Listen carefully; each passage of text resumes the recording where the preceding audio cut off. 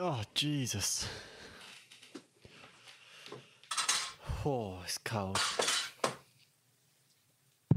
Yeah, it does that. Does what? Gets cold in this world.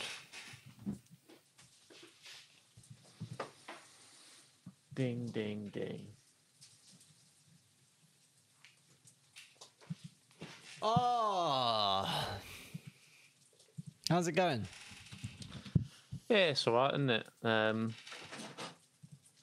it's all I hear some sizzling going on in the background there.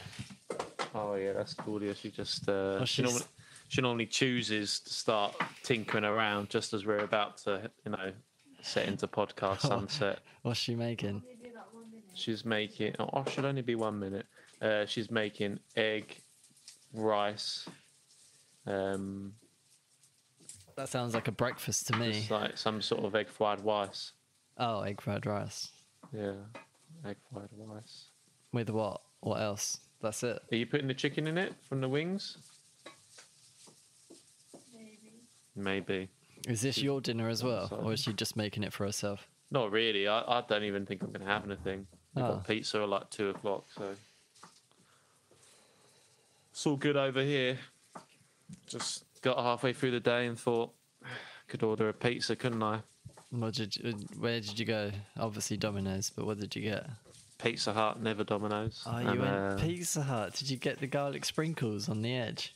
Yeah, I did. Yeah, and Miyako's realised that they're the best bit, so she just licks the garlic sprinkles off the pizza, which is great. um, Uh, off every slice? Does she go around every no, slice? like, no, but as soon "Yeah." as soon as one lands on her plates, it's desprinkled. Um, but she's not licking them all. That would be a bit much. Is much. that because she's seen you do that?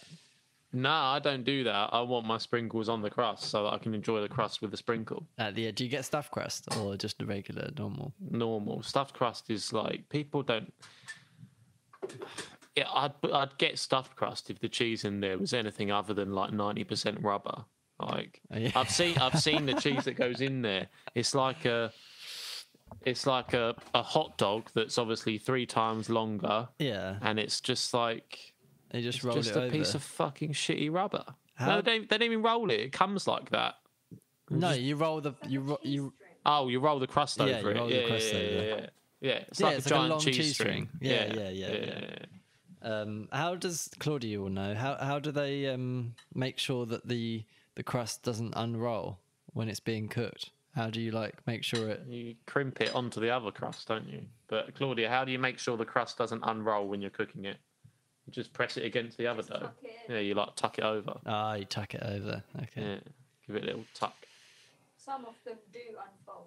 Some of them do unfold. Do you have to remake it if that happens? That'd be a remake, and then everyone go, oh, What happens to that pizza? Just gives to you driving and you just Uh, eat it. Munch goes on on it. the top shelf, and uh, you know what?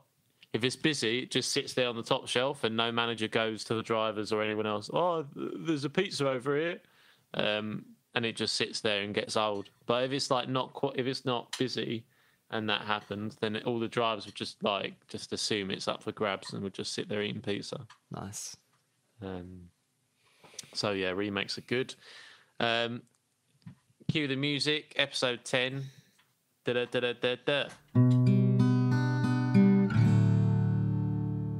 Welcome to the Just Swim podcast, the podcast where we talk about some uh, events of the the past week, past two weeks in this case, um, so that we can further the the humankind and its um, beautiful nature of thinking with minds uh, that not many other animals have.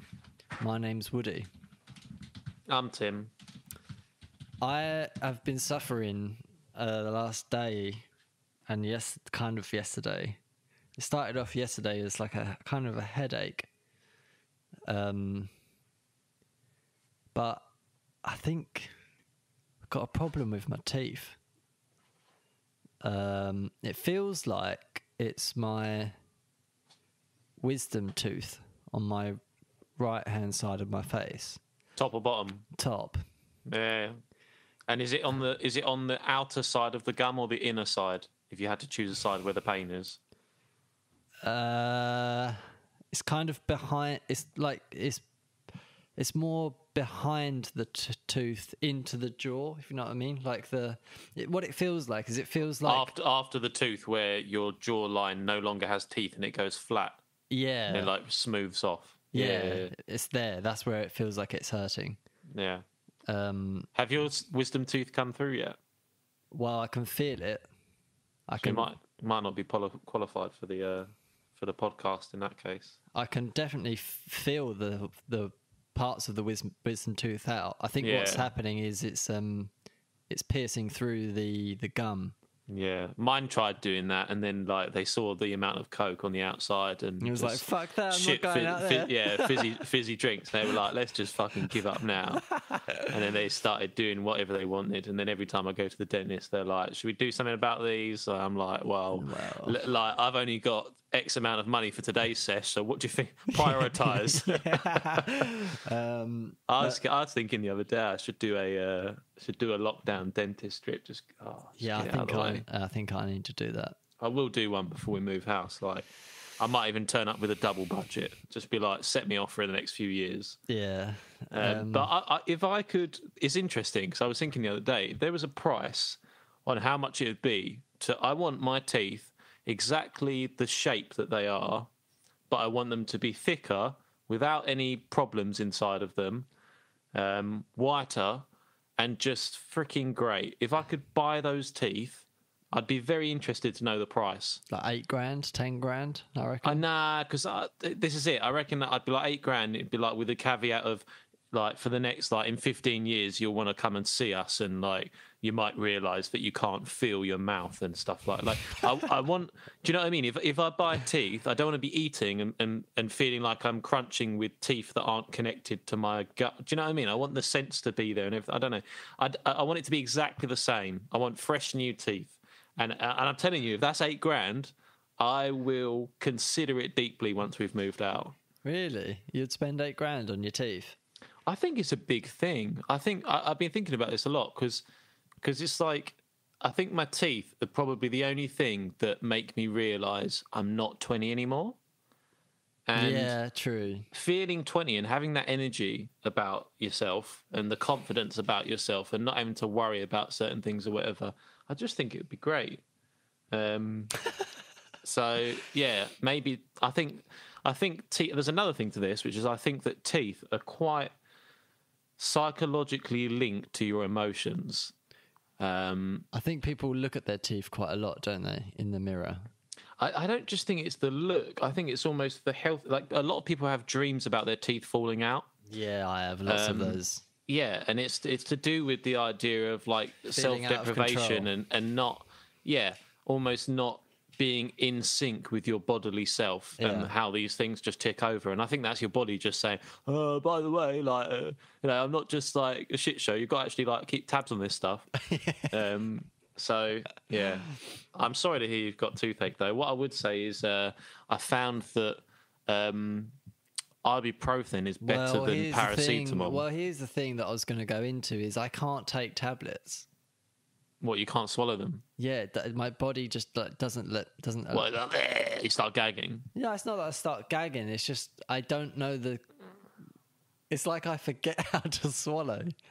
It's like yeah, no, no, no, no. So I know how to do this because I I did this my whole life. Like I would have to crush everything up. Even a paracetamol, I'd crush it into like a hundred pieces and like almost like be dabbing it. Like, yeah, um, so what you want to do is you just get the pill, put it on the back of your tongue, and then just start drinking water, and it will just go. It's, uh, don't have like one gulp and try and like, like actually just drink, drink, drink. Then you'd be like, oh, I didn't even notice it. But you have to like open your mouth, put it on the, The- back of the- your tongue. The thing is, is my um, like I have like it's it's it's like my mouth doesn't want it to swallow, and so it will move it out of the way. Yeah, no, no, no. But that's because you're, you're. So that means you're bringing the side of your tongue into play and stuff like that. If you put the pill on the center at the like three quarters of the back of your mouth, you won't be able to move it away. You literally won't be able to move it. Right. Um, so Well, try I've- and dry your mouth out first, and it will definitely stay in place. But Yeah. I think we should do that. That'd be a good. Uh, that'd be a good little YouTube vid, actually. no, no, definitely not. Would he try Try paracetamol? That'd be fucking great. Um, yeah, I used to be like that though. I don't think I don't think you should just accept defeat. Like it, it can be done. And even if it can't, then there are other things you could do. You could just get some Calpol and have a swig of that. Well, I've it's it's not that bad at the moment. It's I mean it's bad.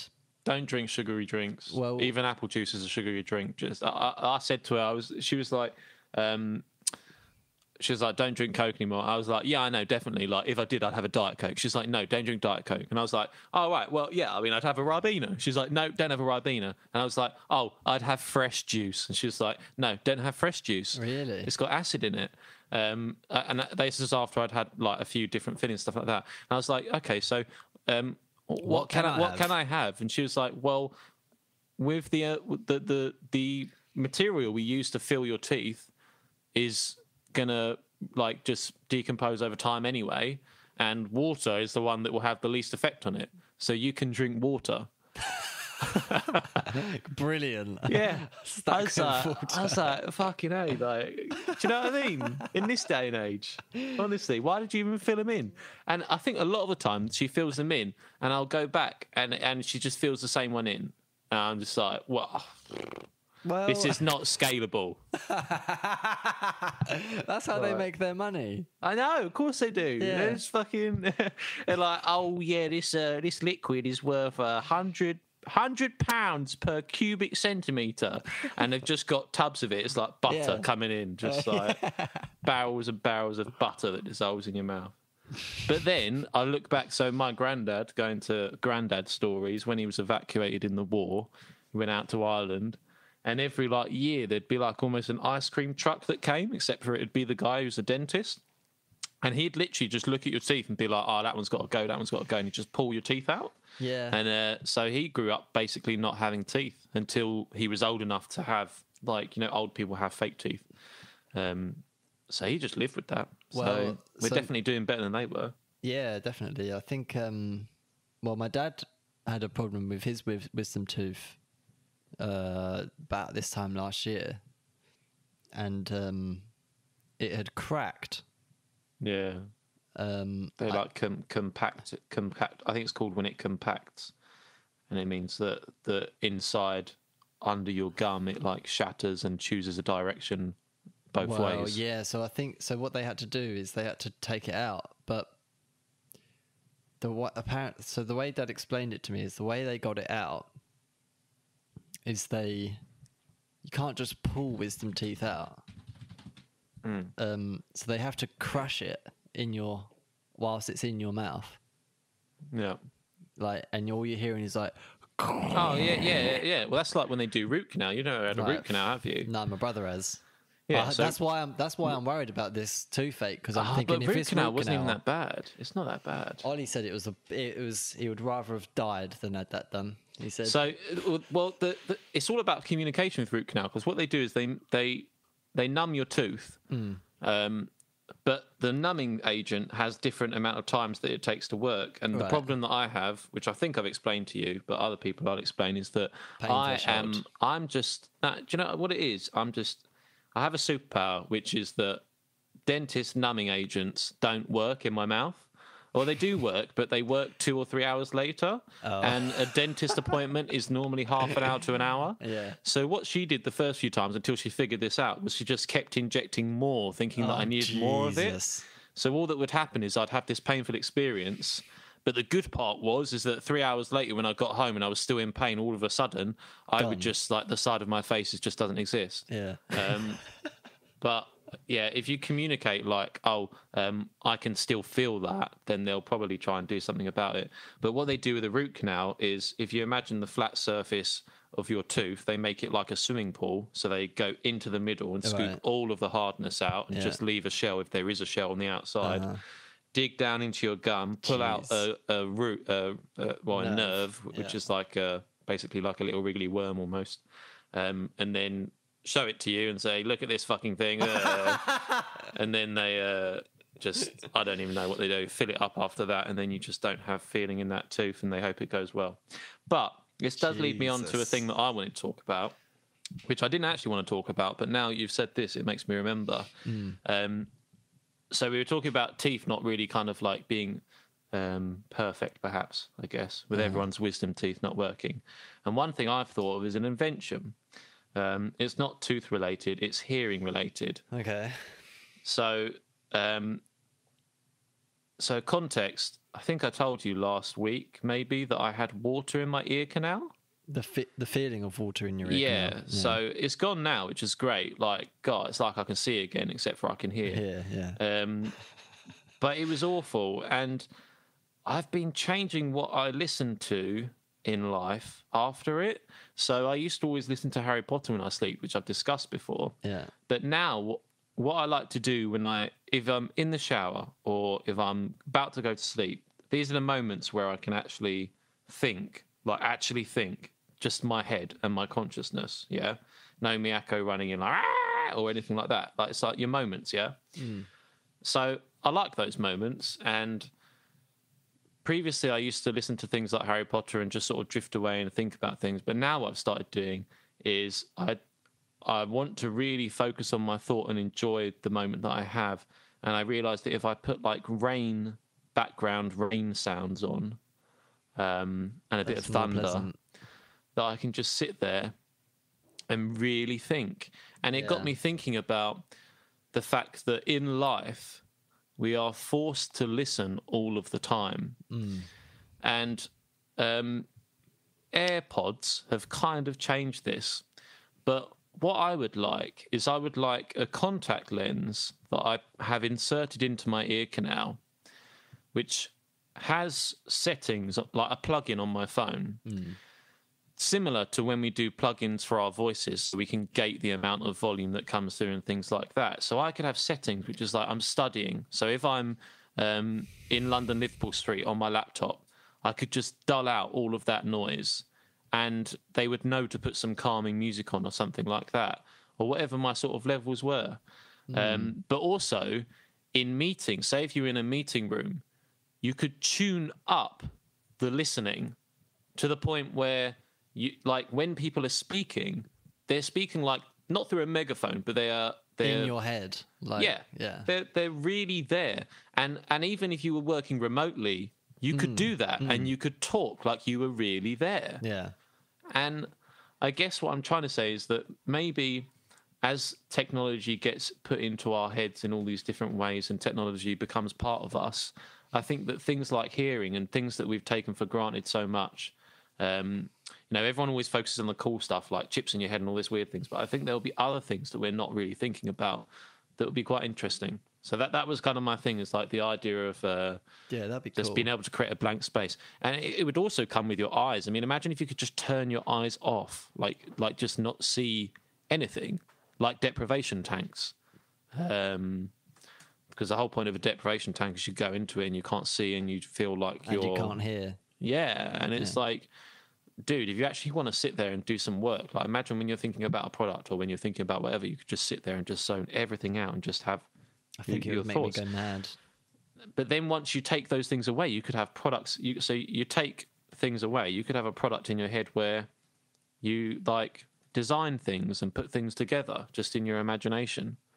Well, I do that anyway. Yeah, I know you do, but I don't do that. Like, I- you know what I mean? Like, I want a proper like, just have a sketch pad and just fucking whiz away. I don't, I don't know. It'd You be could just get to, a bit of paper out and a pencil and just go for it. but I couldn't, could I? Because there'd be all the background noise. I'd be seeing all the stuff. I'd be seeing, you know, I'd, you know, my computer screen, whatever. Yeah, maybe. Maybe you're right. So, uh, Um, Yeah. hearing. So the reason why you might have had um, trouble. So generally, when people have that feeling of, well, actually, not generally. It's, this is a theory of mine. It's not actually water in your ear. It could be water in your eustachian eust- eustachian tube, which is a tube that connects the other side of your eardrum to your throat. Yeah, yeah. I was googling. It could be like just sinus related. Yeah, and if they swell up and that if that eustachian tube gets blocked, not blocked but um closed, and it's it's a very narrow gap, so it's very easy for like if your um tonsils swell up one day or whatever, it's very easy for that to just like close up, and that will cut off all the high high end. Um, because it means that the eardrum can't. It's like in a vacuum, basically. It, it can't um, vibrate at the higher frequencies because it's got no air air to push through the other side. Um, So that's that's that's one of the reasons. Um, I I I really like that idea. Um, I think the only way that you could do it. The problem is, is that the the hearing function in in the head is um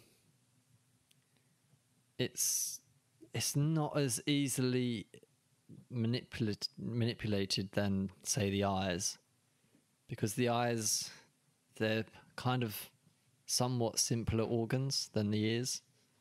Ears are very complex organs. Um so like you know i could imagine that in the future you could definitely augment reality with contact lenses.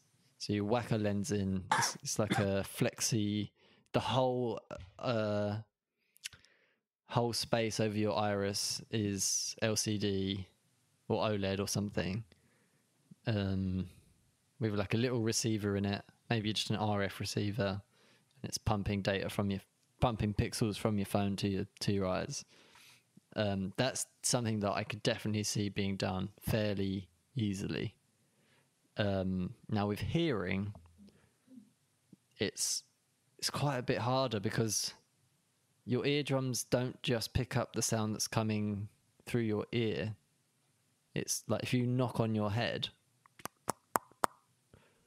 um, that sound isn't going through your ear. It's like reverberating your head, which is in turn reverberating your ear eardrum. Um, so it'd be quite a quite a bit difficult to just build something that goes in your ear. The alternative way would be so as you say, use like Neuralink.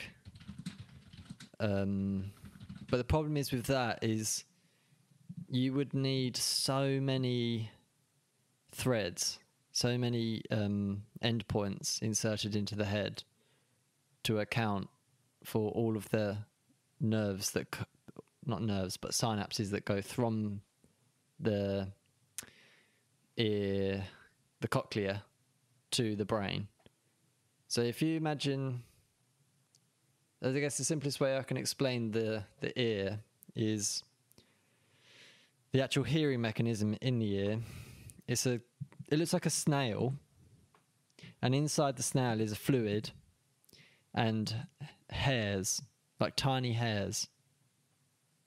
And if you imagine more than 20,000 hairs in that snail like shape, each one of those hairs is connected by a nerve to the brain, which then interprets it.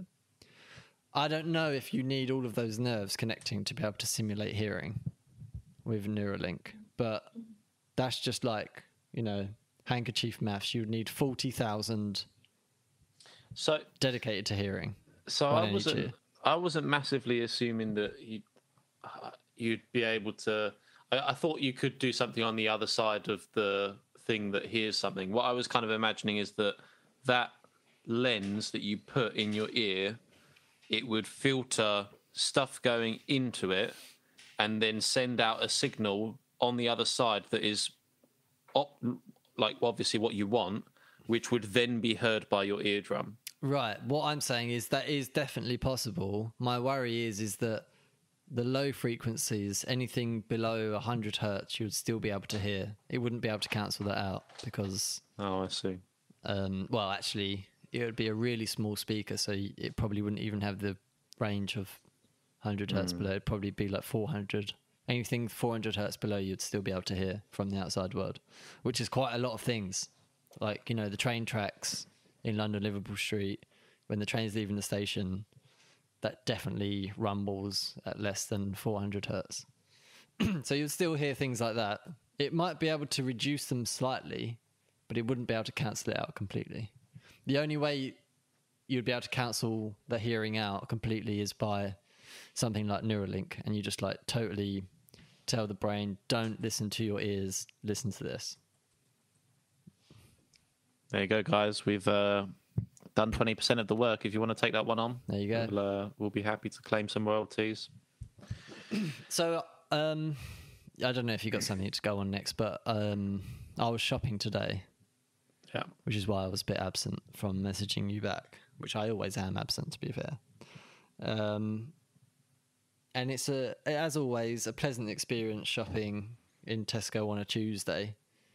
The day after all the pro- pro- products come in, which means the shelves are like stacked amazingly, and nobody goes on a Tuesday.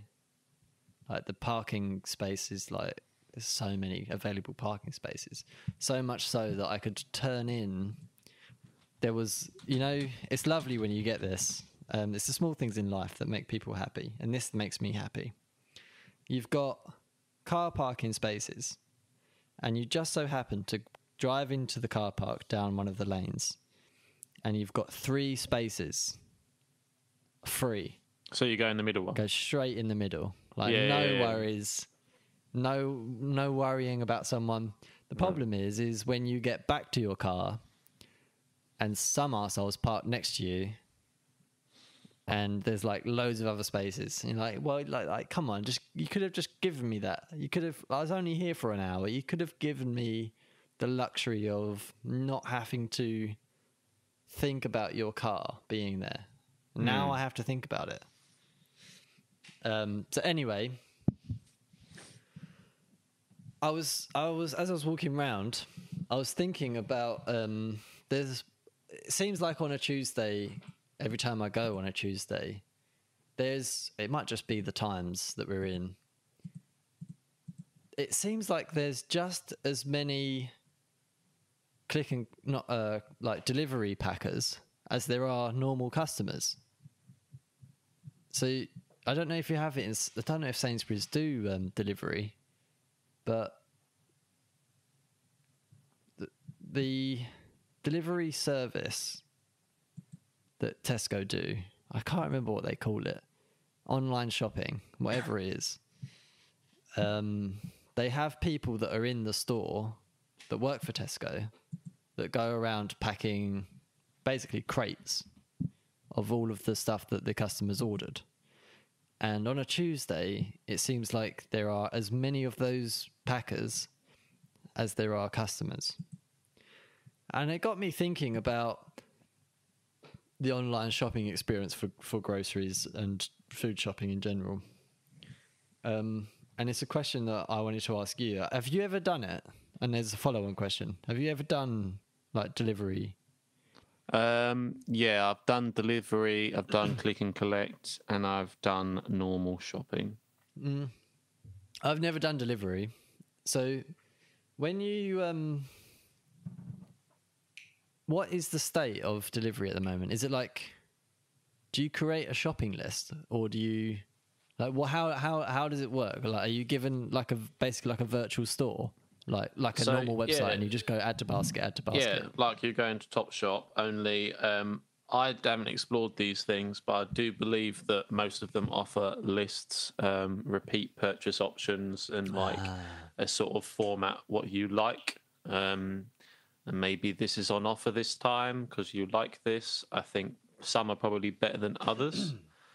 Um, So- and then you just choose your stuff. You choose a time slot. You pay for the delivery, and it arrives. And they give you your stuff. And they anything they can't give you, they say here's a substitute, and you say no thanks because it's three pounds more expensive.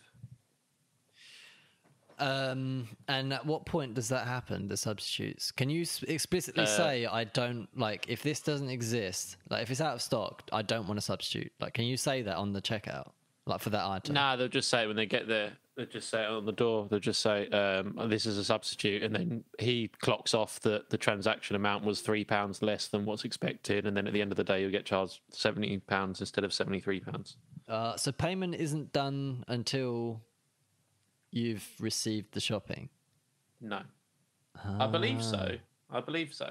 I believe that's the case. Otherwise, they would just have to refund you it back separately. But I don't seem to remember them ever doing that. Right. So, So I was thinking, right, like, so I go shopping every roughly every three weeks. Um, but the things that it gets to the end of the three weeks when I uh, like after I've been shopping, two weeks have passed. We're on the last week before I go shopping again. and you, you need a few bits and bobs. We need a few going. bits and bobs, and it always turns. It always seems to be that we're buying like green vegetables, or like you know, i- i.e. anything that's not potatoes, because potatoes they last forever. Um, Yeah, the the shelf life on most vegetable vegetables doesn't it's like a week. it doesn't match up with your full shopping load. Yeah, I Hmm. think that's a common thing for people. That that's where people end up doing weekly shopping and getting their meals, and then they just go out next week and do it. But you do end up like the the more you expose yourself to a shopping visit, the more you will spend money. So trying to avoid weekly shopping is preferable, but then you incur the vegetable problem. Yeah.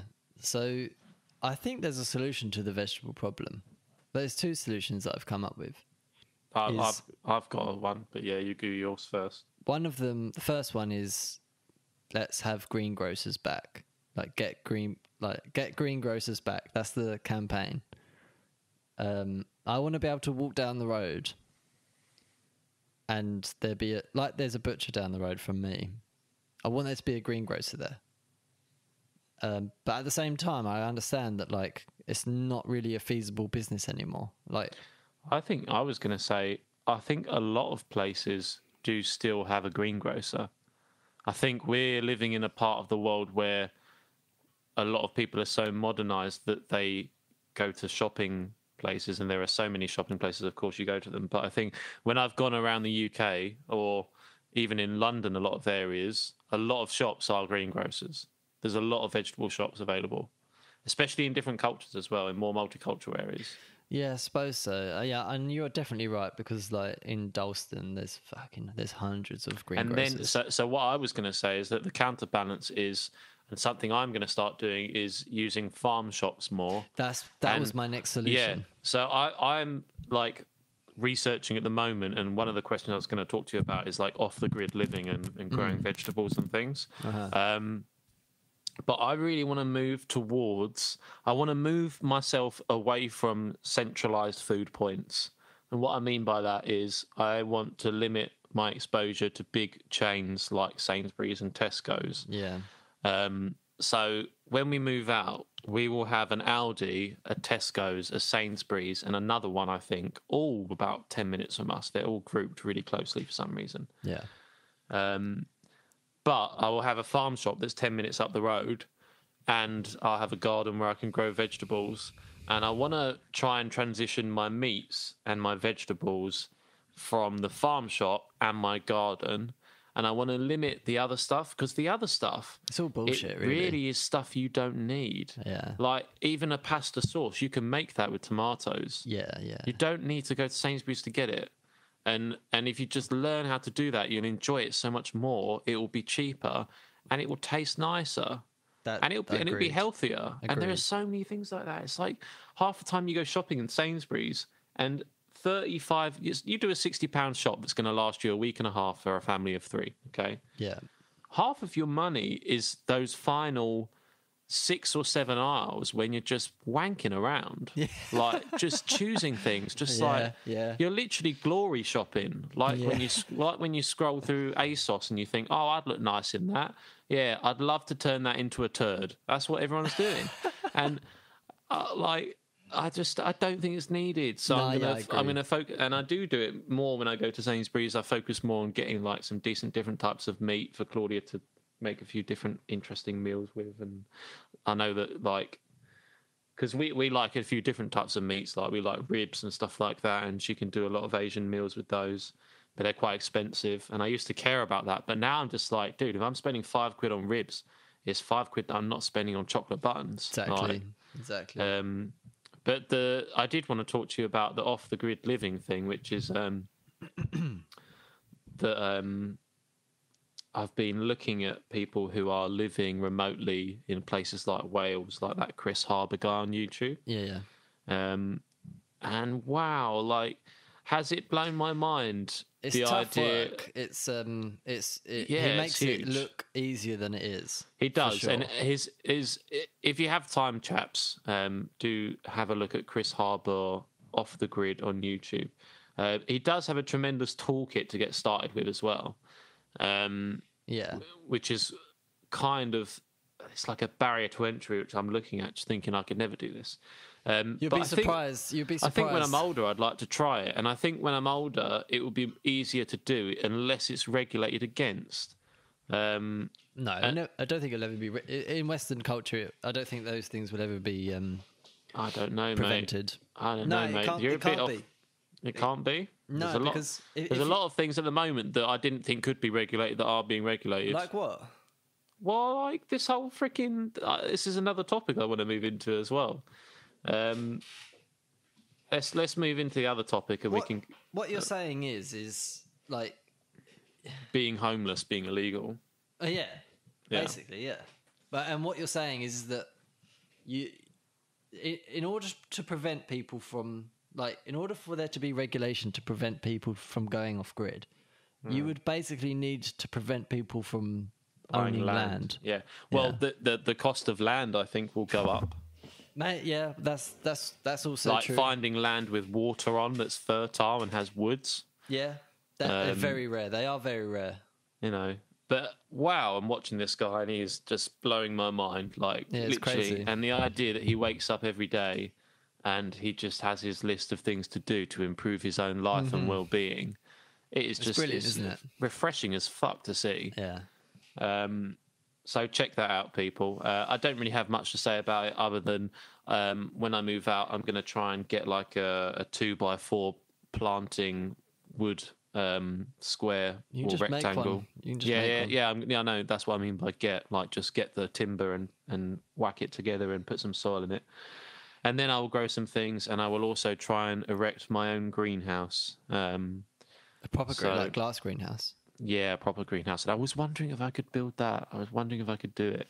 Have you seen his greenhouse? Because his Yeah, it's greenhouse crazy. is fucking You- looks like a Hogwarts greenhouse. Looks You need- amazing. he like well, he does that style on purpose, but um, Yeah. Well, mine would be like, you know what I mean? It, it's just like you, you it'd need be a like lot. a, a tent made out of cling film. Like, yeah, you need a lot of experience woodworking to be able to do what he does. Um, I have done a, I've done a fair bit with my granddad, but then I I remember a lot of what I did with my granddad wasn't really like chisel based stuff. Yeah, It- it- yeah. Mm. and that's where carpentry kind of like if you can understand how to do that stuff, a lot of the stuff that I see him doing, it's like oh I'd do that differently, and he's just got a chisel out and made it work.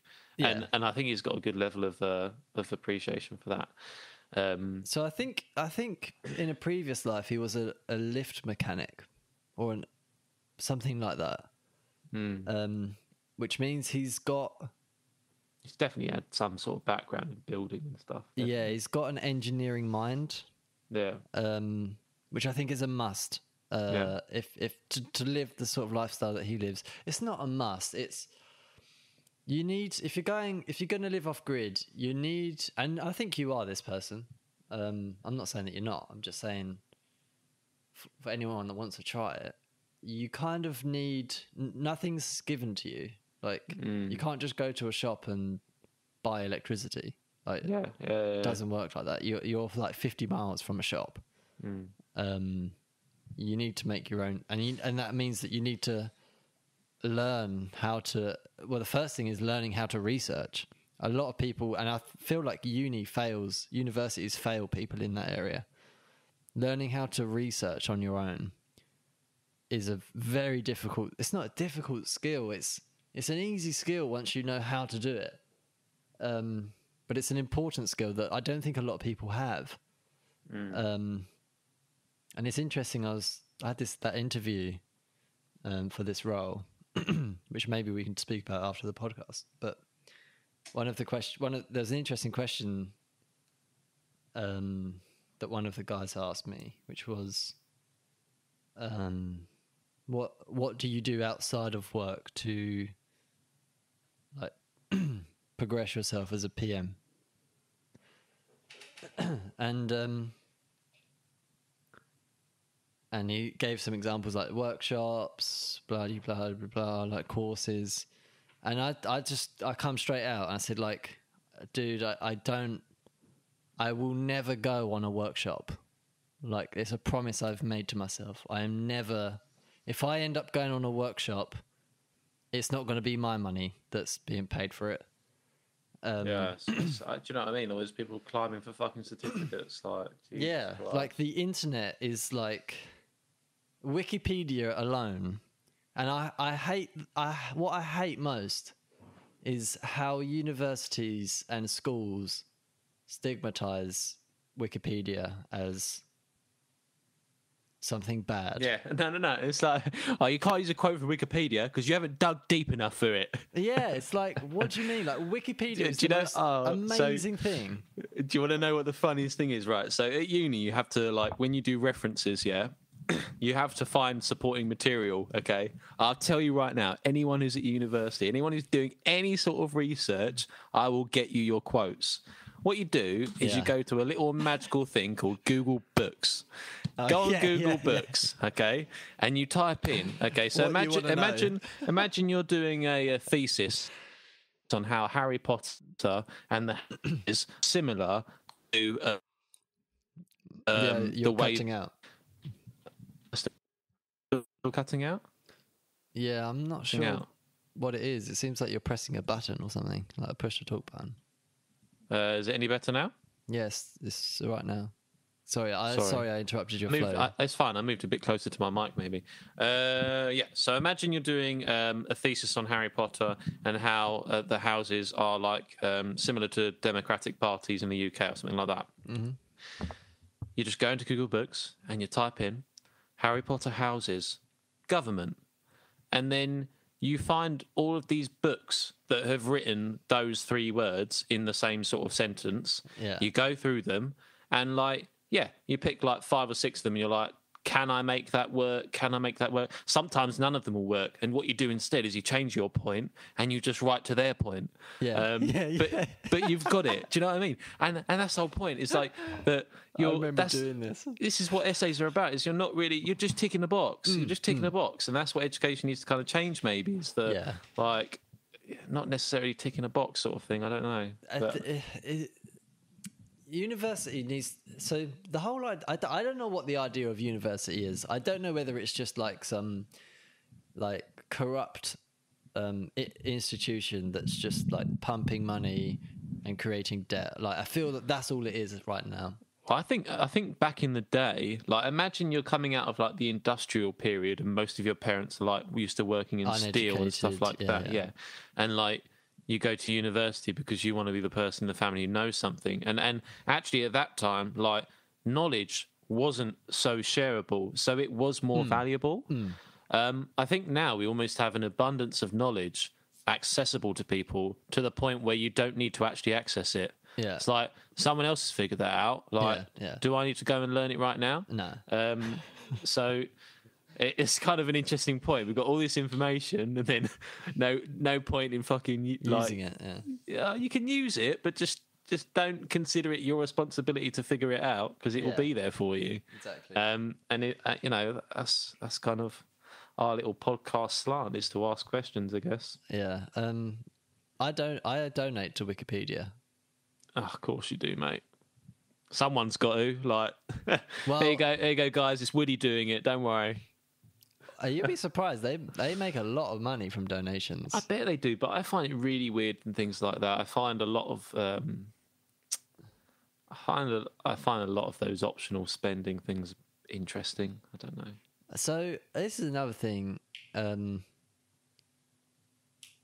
I I'm more inclined to give my money to something, a project that has come up with a model.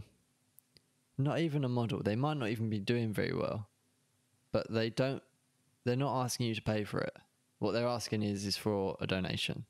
Those projects are the ones that I will immediately I go. said- I don't even if I don't use it. I'm going to give you money because I, you know, you, you're working hard on something and you're providing this for to, for free for people, and it's like some people like can't even afford it, like, but they might be getting value out of it and making their own business off of your software. So Um, I said this on. Uh, I had this interesting Twitter interaction over the last sort of 24, 48 hours, which was another topic I wanted to move into was Twitter regret. Um, but so, guy tweets out he's a PM for his own product. I've got a ton of new great features for blah blah blah his product. XYZ. Custom custom Google fonts, background images, avatar profiles, so much work to do. First comment was, "So what are you going to do then?" Um, no, no, wait, no, that wasn't it. First comment was, "Don't forget to make some of them premium features you can view and monetize, um, e.g., putting watermarks on the basic ones, but then um, having a premium product where." And, and I replied to that comment saying, "Premium features and paywalls are trash." yeah, excellent.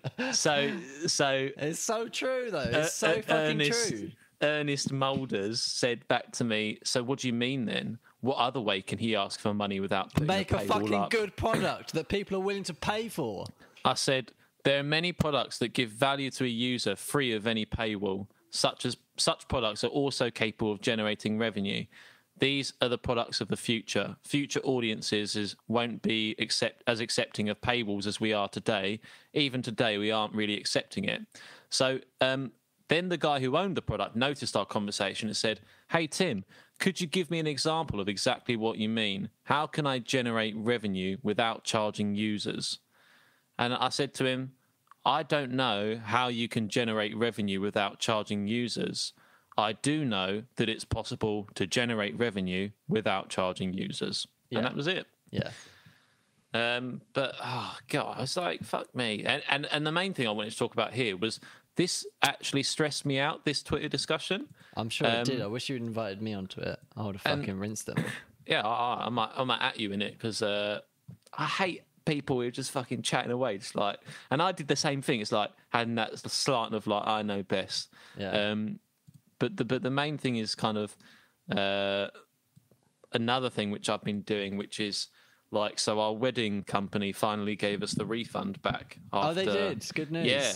And we'd been waiting weeks and weeks and Months. weeks. It's been and, months. Yeah, months. And then when they said they did it, they were like, "Yeah, we've done it." And then a week later, I was like, "No, you fucking haven't." And they were like, "Oh, we'll make sure it happens this afternoon." Didn't happen. And then next day, I was like, "Geez, just do it." Mm. Yeah, Literally, yeah, I'm yeah. going to stay on the phone. Can you do it? Can you make sure it goes through? Yeah. And oh, I was just, I was mind blown. Like, That's a good chunk of money that you got there. Yeah, when it came back, but um, Is it back? Is it actually in your account? yeah, yeah, it's Okay, good. Claudia. Um, but the point Oh, was, is that that you. straight afterwards, I could probably, I might be able to get my Google up. I'm not even sure. I can kind of tell you what the online review was, but as soon as the money came back, I went to their website on Google and left a review. And I gave them one star. Yeah. And I basically ranted out about how I think that a wedding is an emotional transaction and that through COVID, I basically got to see into the wedding industry and establish that Toxicity. I am just a consumer. Yeah. And obviously, that's the reality of it. That's all you can want. Yeah. But on the same level, I would expect the customer service to be offered to be of a heightened level because of the emotions that are involved. Absolutely. And I didn't receive that. Right. Um, so basically, the, the ending of it was COVID saved my wedding. Um, that was what I signed off with. Anyway, so I gave them one star, and um, it had been up for about four hours. And I got an email through from Google that said, Thanks for leaving the review. And I looked at the review and I looked at it and I was like, I don't want to represent myself in this way, regardless of how much I hate the hate this company. Um, I don't. Why, why was I so trigger happy to write something online, and it left me in this like voided space, and I just deleted the review. I just deleted it. Really?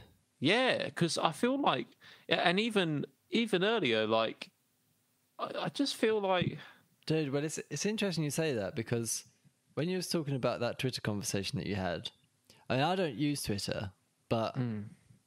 I would love to just make like use my personal Twitter and just just destroy people, just cause chaos. Yeah, Right. I, th- I think ultimately, I think love I, that. Yeah, I don't but I think the problem is, is I'm attacking people from a stance of not actually thinking that I know best. I'm just doing it. I'm just trash talking a lot That's of the what time. I want to do. I just like Yeah, know, and I guess there's no comp- there's no problem to it. But then I looked at my Twitter profile and I was like, it said Just Swim Cast, uh, and my name is like Just Swim Tim. I was like, I guess you could probably figure out who I was if you googled Tim and Woodsy. I was just like, I, I think I can impart more wisdom on the world than being so negative at these. Op- a lot of the time, I'm triggered into this negative. Like I'm never like, oh yeah, you go, you go. Well done for your, uh, you know, your achievement that you've done. You're such an amazing person. Like I'm never like that. But if I see something I disagree with, bloody hell, like, straight on it. where's I, my axe? You know what I mean? I think that's um, I think that's just how like British people are, in a way. Yeah. We um we we revel in the um pessimism of the world. yeah, you don't get very far. This is the You don't, going but back it's, to the life of Brian, life of Pi. Yeah, it's satisfying when you um when you're writing it. It's satisfying. Yeah, but Like, I could can- I could go through my whole Twitter and just like it's literally like these are the tweets that I didn't delete after writing. Like I, used to, I used to do it on the way in from work as well. I'd sit there and like if the train was late, oh mate, train service, I'd find the Twitter and I'd be at them straight away. Like like. And I, I've enjoyed it from time to time. I've I've done a few funny ones. Uh, like a few of my tweets have at least got five or six likes. And that's made me feel really happy. So, uh, but That's what Twitter's all about, isn't it? Getting you those likes, give you a bit of dopamine hit, yeah, and then uh, throw you in the trash when your next one doesn't. That's it. Just appease the algorithms. That's it. Um, so there was uh, another topic, not to dominate all the topics here, uh, but going to anyway. Um, so I feel like a lot of what we've been talking about in a lot of our podcasts is privacy, and uh, I, something I keep saying, which is the walls are closing in. Uh, Um, and you know the global narrative of news events call them individual news events that have no interlink or uh, or conspiracy triangle group behind orchestrating it all or whatever. Um, but I've been trying to wrap my head around this whole Meghan Markle thing recently. Um, The old Meghan Markle, um, the elephant in the room, uh, the black person in the uh, houses. family. Well, yeah, not the Houses of Parliament, the, the royal family. Um, and I just think it's amazing how it's all unfolded. And I think it's really interesting to ask different people on their opinion, like if they had to be Team Meghan or Team um, Royal Family and stuff like that. And it's so funny because so I'm I'm Team Meghan just to be open right now. Like I don't think anything is wrong. I think there's probably really difficult side to being in the royal family. I also think they've got a brilliant life, but I also agree that in this day and age, especially if you're not going to be the king or queen, like fuck it, do what you want. Um, and especially the racism stuff that's come out from it all, I think like oh god, like I think it's such a it's like perfect irony that um, they've ended up in this situation as a royal family. Like oh shit, is, is there going to be a black baby? Like oh shit, this is gonna.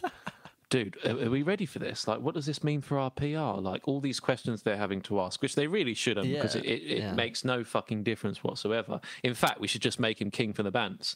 Um, so true. but but um, one thing that I've found is that in co- conjunction with this has been the murder of I don't know her name, Sarah Everard, maybe, yeah, um, which I haven't dabbled in too much because I find like a lot of feminist events are really. And it's not just a feminist event, and I don't want to cause any offence, but I don't like reading about people dying. It just makes me sad. Um, so I haven't read into it too much. but Yeah, there was I've one interesting thing that happened, which was that at her funeral, not funeral, at her celebration of her life event, um, the princess, what's the other one? Kate Middleton. Yep. Is she a princess? Yeah, she must be. I guess so, Princess. Oh no, she's a duchess. The Duchess. Yeah. Duchess uh, Middleton. Uh, she arrived at the um, funeral thing. Um, Such a perfect name for a duchess, isn't it? Duchess Middleton. Yeah, it's like Yeah. such a pure British name, English name. Yeah. Um, and she arrived um, without a mask. Um, not that she has to be wearing a mask. She's royal family, mate.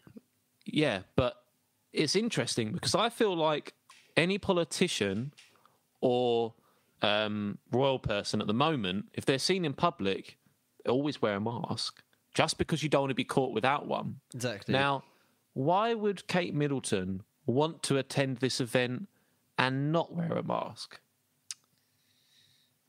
Uh, just to show her face, isn't it? Make sure people know that she's there. Make sure people know she's there. Why would people want to? Why would why would she want people to know she was there? Uh, Make the royal family look better. Exactly. And doesn't that just make people think the royal family are fucking dicks because all they're doing is uh, like this woman's died, The thing is, and they're Tim, like, oh, like- let's just turn up and show face and Yeah, like drop some uh, flowers off, and we'll get some good PR. The thing is, it works. Yeah, Pe- I know it people works, aren't like and me that's the you. They don't tragedy. see through the shit. And like I'm seeing, the, I'm seeing there, and she's like proper pause there for a minute to look at the Oh, flowers, yeah. and like I bet in her head she's like fucking counting, One, and that, two, yeah, yeah, thirty seconds was agreed. Then we'll get back to the car, hmm. and I can get the fuck out of London and get back to my normal life. Yeah. And I just thought like I don't know enough about it. Maybe she's great. Maybe, maybe Meghan Markle is like you know maybe she's the head of Illuminati and she's the reason the world is wrong. But like it's just such a fucking sham. And then the next day the newspapers were like, oh look, that, forget about the fact that this woman's died and you know that there was a huge riot that took place at her um, celebration of her life. I keep saying the wrong word. Um, event, but they skimmed over that and had a picture of freaking Kate standing there, and I was just like, oh, like This is it, isn't it? Yeah. polish my nutsack, like. Yeah, I pe- just- people. It works, man. Like people, people buy into it. People buy into, uh, oh, isn't that nice? Kate went. They don't see through. Like uh, they don't look at the reason. Like why the- has she attended? the the best bit was um, a lot of people like if they are pro um, the royal family side, the one of the things they'll say is, "Oh, they're just like they're just it's disrespectful. You don't do that to the royal family. You don't you don't expose the royal family." It's like, why the fuck not, mate? Like, why not? What Yeah. makes it like? Yeah, we respect them because they are on a level which should be superior to us. And if they are not superior to us, and somehow being, you know, um, the the good Samaritan and trying to save the world and all this stuff, then like what? Yeah, no, What I totally agree. Um, And and, and oh, there's another. Uh, unless you have more, do you No, have yeah, more go Meghan on. Markle? Because No, there's another thing which is like to get back to the walls are closing in. So we have this huge thing of women don't feel safe on the streets. Hmm. Um, and I feel like we're being pushed into narratives where we're being told to champion things that are actually what people in the government and everything like that want us to challenge. Um, uh, you know, we don't feel safe on the streets. Okay, well, we'll put CCTV facial recognition everywhere. Does that make you feel better? You know? yeah. because that's where it will go. That's Yeah. literally where it will go. We'll be sat here in two years' time, and people will be saying, um, like, why is there so much CCTV facial recognition everywhere? Uh, two years ago, I used to be able to do this, this, and this, and now I don't feel like I can do it. And they won't remember the fact that they sat there every day saying that, like, and I get it that a woman doesn't feel safe on the street walking at night. I'll be entirely honest, like. and I don't feel fe- safe walking on the streets That's at what I've been thinking all week. It's Yeah. like, dude, like I'm looking over my shoulder. Yeah. Trust me. I get out of bed at night and I walk to the bathroom across the hallway, and I'm ready. I'm ready for that paranormal experience. I'm I'm scared of the fucking world. Yeah, yeah, yeah. And obviously, yeah, there are more events that happen towards females and stuff like that. I don't really know enough about it. Like, I, I mean, No, yeah, I just appreciate don't, that. I don't think that it's it's something you know it. And, and I, know, I know that a lot of feminists haven't said, I want CCTV facial recognition. They'd probably say things like, we need better education around this sort of stuff from young to understand that, you know, females have to be respected and all this stuff, yeah? Um, which, yeah, might help. Well, um, so but- here's here's my issue with um, the idea of, and it's not an issue. I mean, I, I there are parts of feminism that I hundred percent stand by. Um, there are other parts where it's it, it, it boggles my mind a bit. So like, um, the idea. So like, feminism uh, started off like well, it started eight like a long time ago, like hundred years ago, easily, maybe more, a little bit more. Um, and the idea was is women wanted equality. Um, during the time, like maybe just twenty years before the sort of rise of feminism, um, women probably were protected a lot more than they are now because you know men ran the world back then and they saw women as like They were trophied. yeah they were trophied in a way. Um, and then feminism came along and said no we want we want equality like 100% equality like 50-50 whatever Yeah. men gets we want. And uh, that come that obviously brought in a load of benefits for women. The right to vote um, loads of loads of things. Uh, the right to work.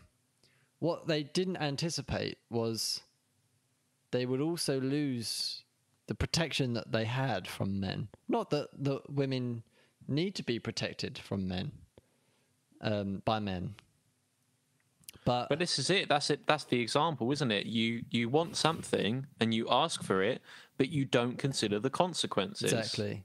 And there's so much of that going on right now. It's like that cancel culture topic. Like, um, well, we don't want this, so we'll get rid of it. But what are you going to be left with Exactly. when you've got rid of those things? Now, I'm and will all- you be happy with that? Yeah, I'm all for it. I like I'm all for like women having equal opportunity for sure, like hundred percent. Um, and 'cause I I don't want to protect women. Like I don't want to be the I definitely don't want to be the person that um if women think they can protect themselves, they want 100% equality, 50-50 if somebody attacks a woman, it's not my problem. Like that, and I think a lot of men are like that now, because we've sort of been pushed into this idea that oh, women have equal rights, therefore I don't need to, you know, I shouldn't be gentlemanly, and if there's a thief attacking a woman, that I should do something because I'm a man in power. Like that doesn't exist anymore. Um, like I'm all for that, but at the same time, that that as you say, that comes with consequences. Um. So it's a it's a very difficult time being a female and a male. And and can I just add that yeah. if there's any girls who posted a status that was um I can't remember the sort of status they put, but it's something like uh don't do XYZ, educate your son. Yeah? Mm. And it's like it's like Yeah. it just makes me feel like it's just like generalizing men so fucking Yeah, much. yeah. And then I, I saw one one that was a really good reply to it, which is uh, what men really want as a picture. And uh, on the internet, as any meme is, when it says what men really want, it's normally a picture of some big boobs or something like that. Yeah. But it was this uh, this woman standing there, and then she had her children around her, and she was in a house, and then the man was outside of the picture, and he had his arms like wrapped around that picture, hugging it. And it's like, yeah, that's that's all I fucking want. Like, Yeah. I think there's a lot of men that just grow up and they kind of like just. uh, Like I think men actually have quite a motherly instinct, but it's just portrayed in a more long-term vision than a short-term. I'm going to hug my child and feed my child and do all of these motherly things. I think we Yeah. we, we provide a landscape in a way that, Exactly. um, and and fuck me, like uh, it's it's it's never fucking talked about. Like it's never talked about. No one talks about back in Birmingham, back in the industrial age when they were like mining steel and forging iron every day, and like yeah, the women were stuck at home and they didn't have rights to do things. But, they being weren't stuck down in a fucking pit, like breathing in smog every day, coming Yeah. home black face and black hands with blisters on their hands. Yeah, from and- working too hard. And it's not that we did more, and it's not that you did less, and it's not that you did more, and it's not that we did less. It's just that we were born with dicks, you were born with vaginas, and and different circumstances cause different outcomes. Yeah. Just like a dog lives X amount of years and might find an owner, but a frog is probably not going to find an owner because they're not as desirable. That's how they kind of live their lives. Yeah. I go back to the root cause of this. I said to my drama teacher, who was a feminist, if you had to go into a jungle, if someone took you into a jungle and you had no idea about what animals are, what humans are, um, but you did have an idea of the planet Earth, and you were to look at a human that is a man and put it next to a female and say, which one is going to survive best in this world, you would say, well, probably the man. Just like if you put a tiger next to a thingy, you might say probably a tiger. You'd Yeah, choose yeah. traits and you'd say that person will survive better. And that means that since we've evolved, we've evolved on the scale that society has been started towards us. It doesn't mean in 100 years, 200 years, 300 years' time. That might change. yeah, we might not even need dicks anymore. It might just all be asexual females. Yeah, just IVF everywhere. Just you Yeah. know, grow the semen, IVF, off away you Yeah. go. At which point, I won't be the last man sat there being like, "But we need men." We'll just be like, yeah. "Times Alright, have fucking time's up." changed." Yeah. yeah, but but yeah, things are difficult, and we need to make this the the. Uh, I, I mean, we need to make the streets safer for women. I, I, I just Don't I- I- fucking go out. Like I don't go out at ten o'clock. Don't fucking go out the house. I was going to ask my mum. I was like, "Mum, when was the last time you were walking down the street and you didn't feel safe because you are a woman?" And I think she'd just be like, "Never, Yeah, never." yeah. Like, you're walking home for like, are you walking down like through Stratford at two in the morning? Like, what? What? Are you, What fuck are you doing? Where are you? Yeah, why like- are you out? yeah. Someone shot a gun. I've walked in the way. Oh So- no, it's not my fault. Like, so, um, but it's definitely not Sarah's fault. She's dead. Just to clarify, we're not saying that. It's just like it's a fucked up world, and you can't really fix all of these things. But it's not worth sacrificing your privacy for walking home at night and feeling safe. Yeah. It's not worth CCTV recognition. No. I saw someone saying um, a curfew for men. That was in the government. That was in the Houses of Parliament. House a of Lords. curfew, House of Lords. a curfew for men. um, so yeah. I mean, she Just she fucking crazy. there was an article in the news, uh, Sky News, about her saying that, and it wasn't that she actually wanted to implement it. She was just wanting to make a statement that it, like, you know, have an ambitious statement to get her name in the papers, basically. Well, because that's But what it was a good point. politicians about. It was a fair Uh, point that she had, but at the same time, Was it fair? What was fair about it? it it highlighted it. It sort of added to the uh, idea that women don't feel safe. I mean, that's the only value it had. Um, but it's a fair. I I think it's a fair point that she made. But it's not. Can you imagine it? Men are banned, and it's like you look out the window, it's just women fighting on the Going, streets yeah. all night long. So this is what I was going to say is generally the reason. Um, so there's a couple of things that I want to talk about here. Men, I really don't want to generalize here, but sometimes there are just facts in the world that you can look up. Um, and the best place to look up these types of things are published statements and factoids by charities that provide support for a particular industry. Um, and most of the time, and people might say, yeah, well, women don't have an equal representation in work, therefore, this particular cohort of people, whatever. Generally, the consensus in charities is that men are more, there are more men applying for money to help themselves and help their families than women are. And there's a bit of a debate within the the charity sector in that charities are worried that women f- are feel like they don't deserve the money because they're not getting as many applicants like applications for for money. Um i don't know the answer to that question. I'd like to think that it women do feel that they can apply for money and they should go out and like if someone's giving out money go fucking get it like don't think about oh do i really deserve it? Maybe someone else should deserve it more than i do. Men don't think like that. If there's fucking money going and you're in trouble go fucking apply for it. Like just go take it. And i think that speaks to the kind of maybe it speaks i haven't done you know i'm not a psychologist here but um it speaks to the idea that m- maybe men are willing to risk a lot more of their pride in order to ensure the survival of themselves and the family that they have. Um, does that resonate with you? Yeah, I think so. Um, and so, one of the reasons why the streets don't feel safe is because, and let's take East London as an example. Um, you don't often see women in these, you know, postcode wars of drugs. Yeah. It's always men. Um, like ninety nine percent of the time, it's it's men doing the risky business, Yeah.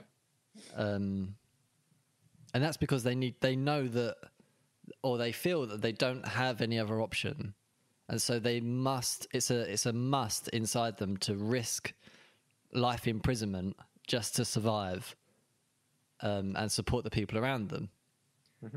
Um, which generally means that if if men are doing generally the more risky jobs because they're willing to put more of their life at risk, then of course there are going to be bad men out there, And they're going Like- to commit more crimes. and they're going to commit more crimes.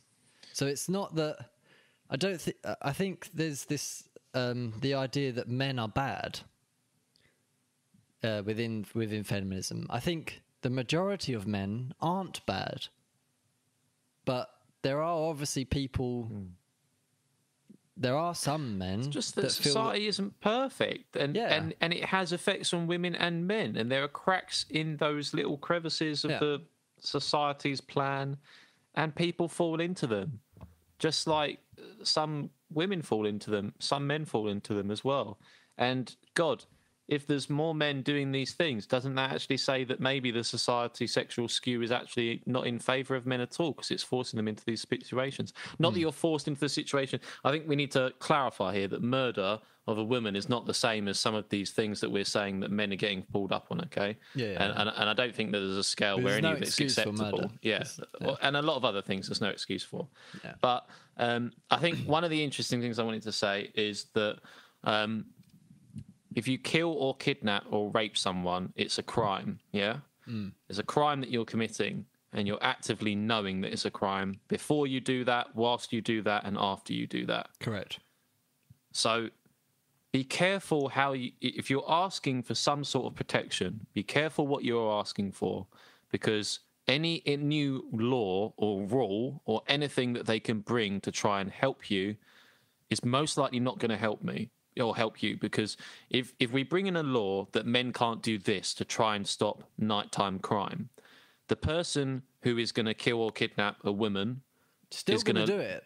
that law means nothing to them Yeah. on the same way that murdering someone means nothing to them Yeah, they're still going and to they will it. find a way Yeah, just yeah, law. so so don't ask for a law right. like don't fucking take it to the house of parliament take it take it to discussion have the discussion um, and one thing I was saying earlier is that I know we always talk about guests. Maybe we should like I know a few people who'd probably feel passionate about the opposite side. Yeah. Um, maybe get a couple of, of girls on or a, a guy and a girl who both feel strongly about this and uh, and we could air it all out. And maybe we'd figure out that actually, you know, we're freaking deluded and we're on the wrong side. But I, I feel like there's there must be a reason why feminism like comes to a point where it stops working, and it's almost because like yeah, it's yeah.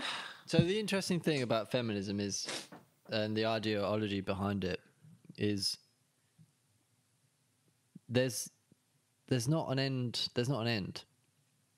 I'm not saying there Exactly, should be exactly. an end, but That's why no one identifies with it. That's why women don't identify with feminism. A lot of women do, but a lot of women don't. Nah, not a lot of women. A few women do. A lot is almost you're, you're telling me like 60 70% of women would identify with the idea of feminism. I'm saying a lot of women do, a lot of women don't.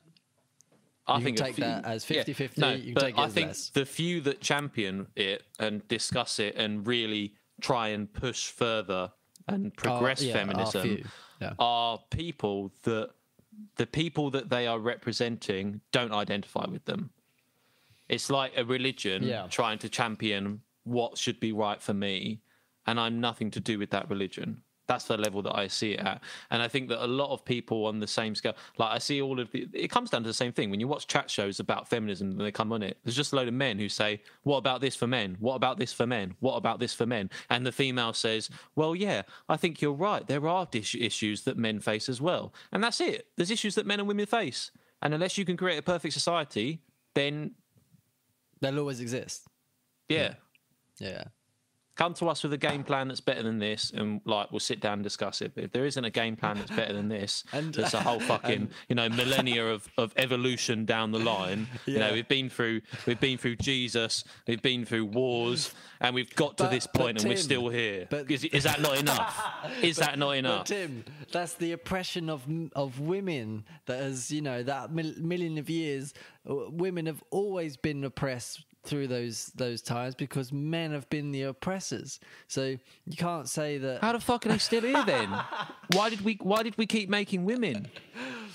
There's so many of them. Yeah.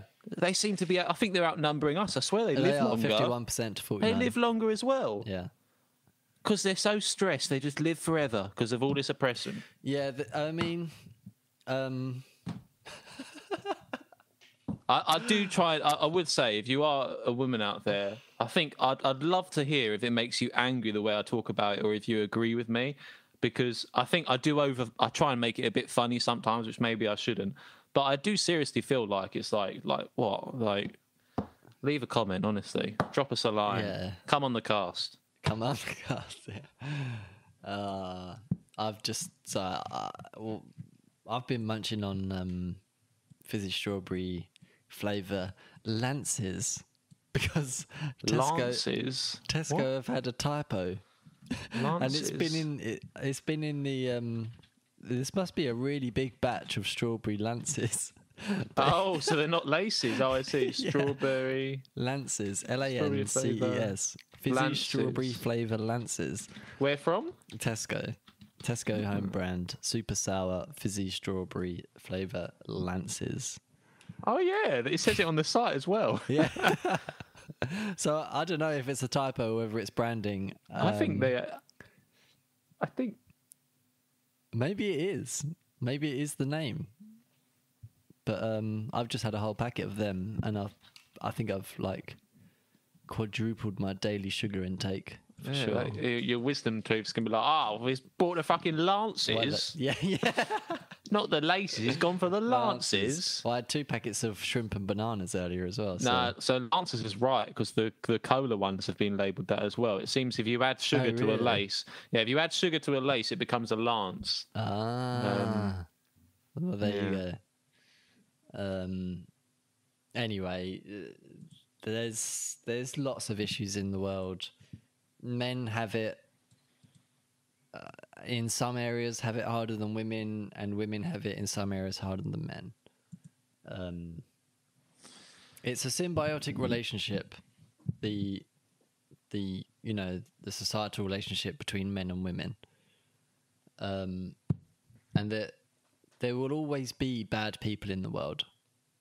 Like, re- regardless of what you know, what you believe, what you think should be right, we would all love a perfect world, but A perfect world wouldn't be perfect. It's like a heaven Yeah. that goes on forever. exactly. You need the bad. We're not saying you need the bad, but bad will always exist. Um, uh, and uh, there are definitely things that men need to improve on, um, you know, but there are also things that I think women should improve on. Um, you know, men get treated like emotional punching bags a lot of the time. Yeah.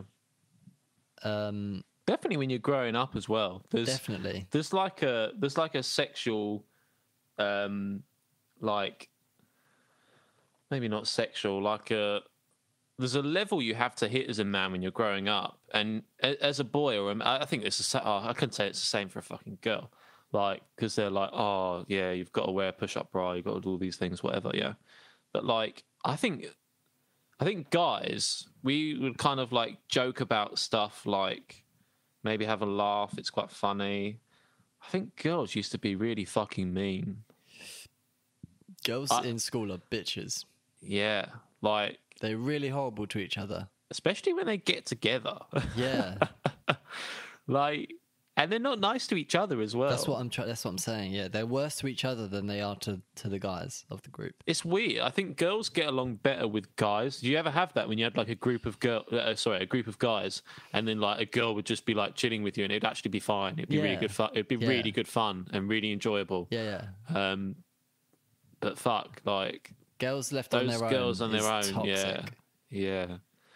I just remember things in the common room, like when you'd see like that one person wasn't sitting with their group of girlfriends. Yeah, like what's going it's just on? like, uh, you all right? Like, being- oh yeah, no, just uh, Being kicked out. yeah, I'm just having a bit of time with the girls at the moment, and then the girls are looking over like, yeah, we're on, yeah, yeah, yeah. Oh, what's she doing with her hair up like that? Yeah. Oh, look at her nails. Like, uh, just, uh. Anyway, we can't bag on them forever, so I'll, I'll take this moment to divert to a. Uh, to a much wanted question um, that I've been uh, really, really thinking about and dedicating some of my time to, which is if you had the power to shrink any one object and carry it around with you in your pocket, what would it be? A working fusion reactor. Oh. Fucking. Jeez, I thought I'd get some time to think about. It. I guess I'll have to. I'll have to force you to. Sorry, guys, but he's going to explain what that is now. Um, well, a fusion reactor is basically just like Fu- fusion's the future. That's what you were telling me. fusion's the future. Um, I think the hydrogen's the future. That's what I was reading about today. There's finite hydrogen, man. Like hydrogen's leaving the atmosphere as we speak, and there's like, eventually there'll be no hydrogen left. I mean, we do have an abundant source of hydrogen, which is in the form of H2O, but you need to electrolyze it to get the hydrogen out. Um, Ding, which ding, ding. means you're going to be consuming water, and that water, people think that water is, you know, it's a closed system. If you electrolyze it, it's no fucking closed system, mate. You've just converted that hydrogen to oxygen into hydrogen and oxygen. Hydrogen, if you manage to collect all of it, it's going to go into your bucket. The rest of it's going to escape the atmosphere through the holes in the ozone layer.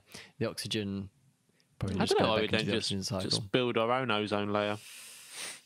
Uh, Just I build a can't better remember one. what ozone is. Is it O3? I think it's O3. Yeah, I remember reading about it once. Yeah. They did try and do so because there's there's a hole in it over uh, Australia. I think there's a hole in the ozone. Yeah, That- I'm not. I'm not really sure what it that'd be a- means to be a hole. Like, That'd what, be a good song. There's a hole in the ozone and it's coming for you. Jesus. Um, the so yeah, the f- the fusion is the future. I think it use it can use anything like deuterium, which is a fairly abundant resource. Um, smash the particles together uh, in a plasma, and you've basically got the power of the sun in your pocket. No nuclear waste, just a shitload of energy with an abundant resource um, once we run out of all the deuterium on this planet, there are plenty of asteroids flying around that have shitload of deuterium on. Um, and yeah, if you've if if I've got, I would never have to charge my phone. Like, I mean, I would have to charge my phone, but my phone would. I would never be in a problem where I'd, I'd. That's what I'd do is I'd get a like you know a tiny fusion reactor. If that can fit in my pocket, and I've got like a little vial of deuterium, which would probably last like a year in this little fusion reactor that's pumping out. All I need is 24 volts, like 7 amps. That'll be plenty, which is not that big. It'd be ideal if it can do like 7,000 amps at 24 volts. That'd be nice. Um, I don't think my phone would take that though. And I just plug my phone in and yeah, like a little battery charger in my phone without having to charge the battery charger, you know. That'd be it. Your one wish to be able to just charge, your Charge the phone, phone. from your pocket. Yeah. There you go.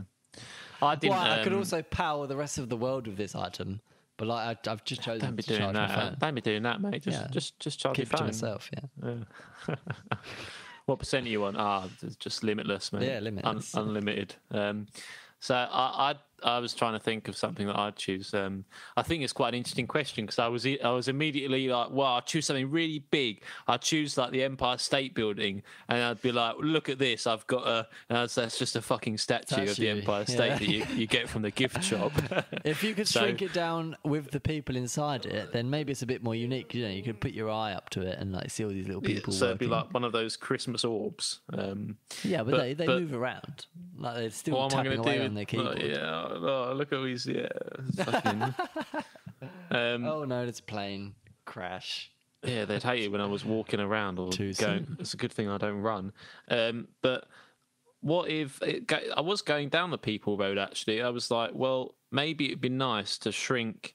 Um, either I guess I could clone myself and shrink myself. Wait, hold on a minute. You And didn't say then- you got a cloning device as well. What if uh, shrink any one object? I, I didn't define. I will shrink the clone of me that exists in this question's universe. All right. Um, and then I could look at things that I was about to do and just be like, "What do you reckon, Tim?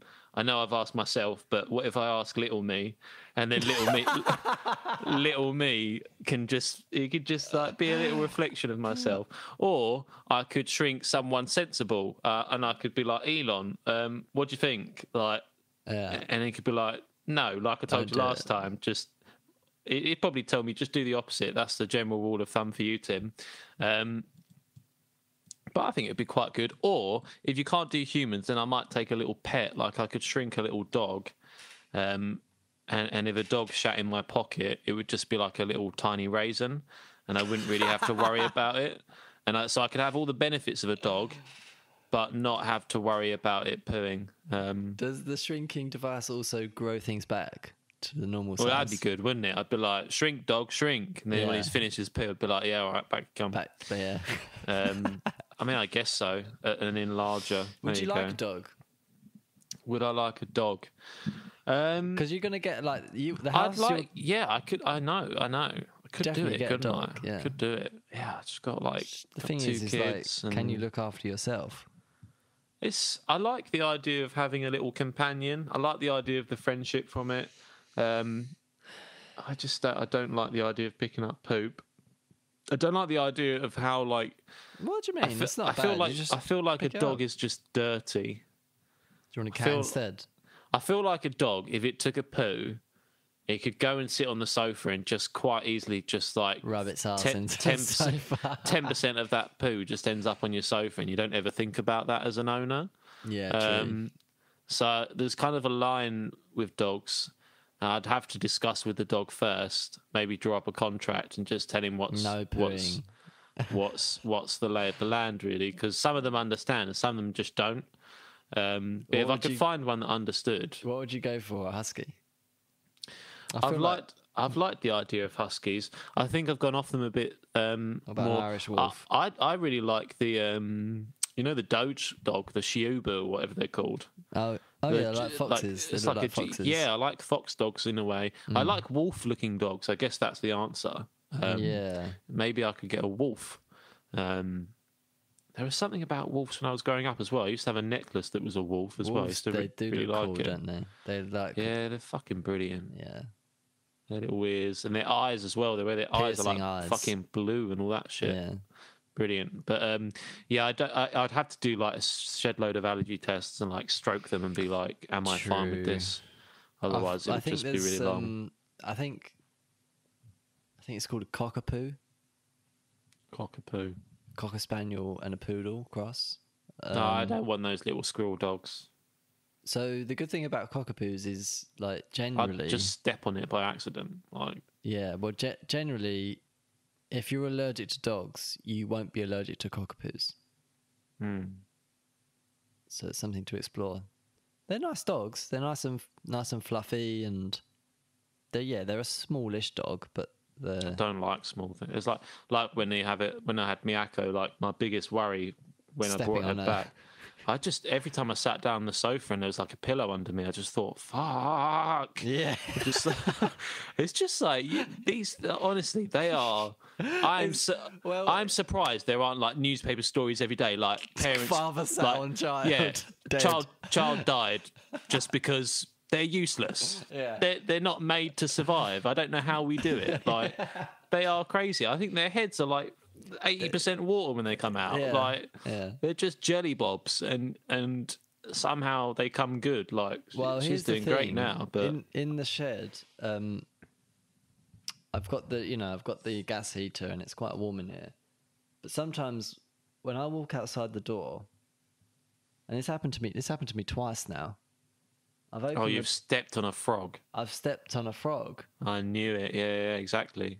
and um, it fucking shit the life out of me. Like, Oh, I bet it scared the shit out of him. well, the interesting thing. he what is this big thing in the Yeah, sky? it's um, twice. I bet they probably survived though. They're quite jelly creatures, aren't they? Yeah, that why he did survive because as I come back, I saw him jumping Yeah, around. came, came back and you fucking stepped him in again on your way in. No, I spotted him this time, but it happened again. I didn't realize. And the thing is, they Same always they sit. Well, I don't know if it's the same one, but they always seem to sit on the stones that I've got outside of the shed, Yeah. right where my foot will normally land. Like Maybe you need to create a special, like a special place for them. They have a fucking garden and a pond. Like that is yeah, a but they special clearly, place. yeah, but they clearly like the stones. You need to give them The- their own stones. The reason why they like the stones is because um, the stones that they s- sit on, there's a gap underneath the door where I presume the hot air from the uh, shed escapes out of, which means But- it must be nice and warm where they're sitting, like Was it- warmer was than it- it is normally. Was it late at night? Um, yeah, 'Cause the thing is- time. The thing is, right, is you can't really, you can't really blame yourself. You have to blame the frog for being out late at night and on the path.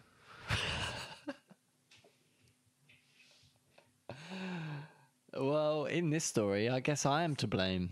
I should have been looking. Oh, it's but yeah, horrendous. at the same time. Um, so the next question is, um, it's quite a good one. Is um, if you had to dedicate your life to something, what would it be?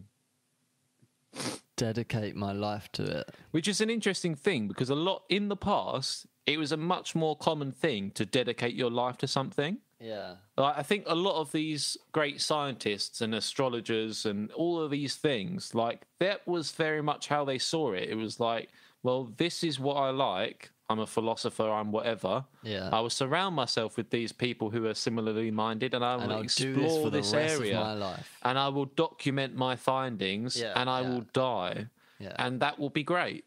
And and that's what they did, and they did it really well. And now we have this separation in the sense that your purpose in life isn't that.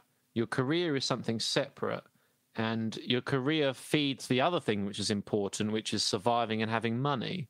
Hmm. And it's kind of limiting how far people dive down the rabbit hole. Really, I feel like, for example, at the moment, I feel like I will die being the jack of like I know loads of different things, but I won't have like Kris did. I won't have built a freaking thing out of wood and lived in it because I just can't sharpen a skill to that depth because there's no freaking point anymore.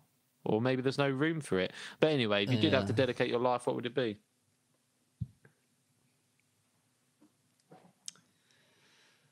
Uh, hmm.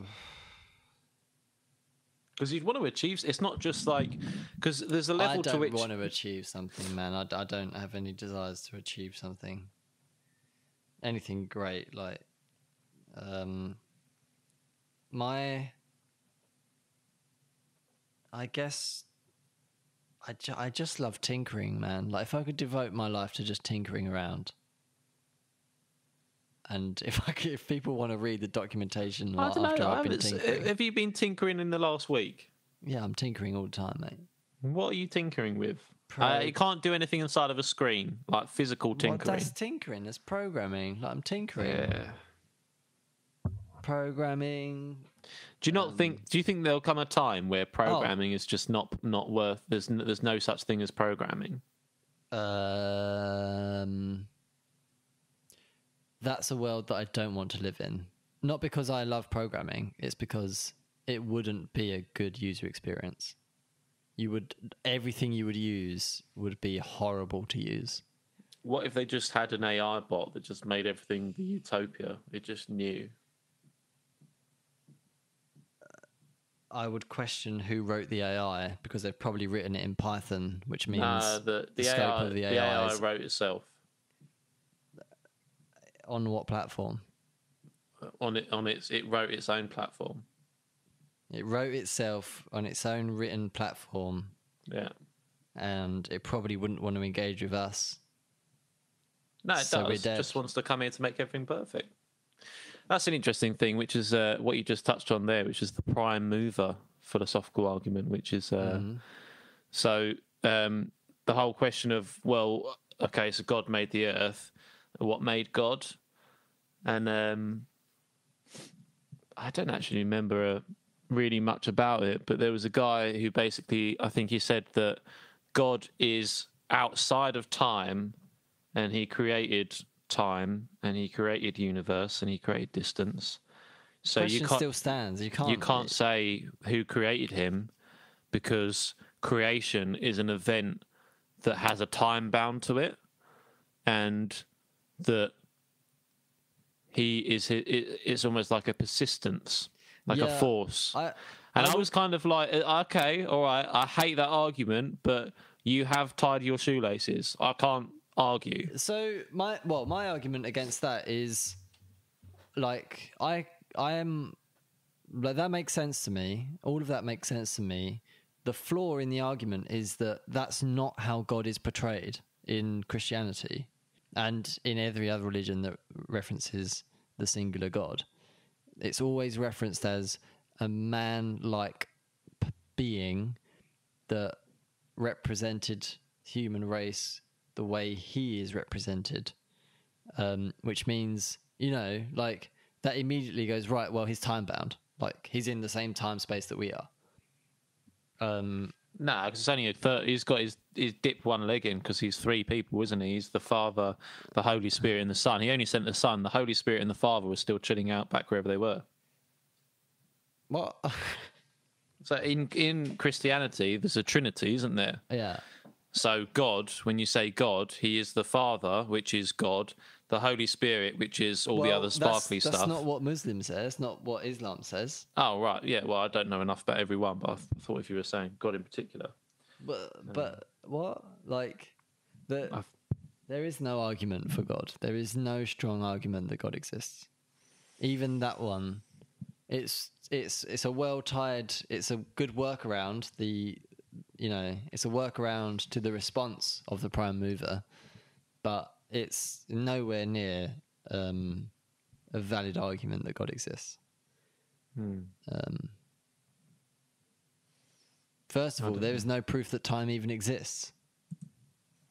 Therefore, you can't reference something that you don't have solid knowledge of.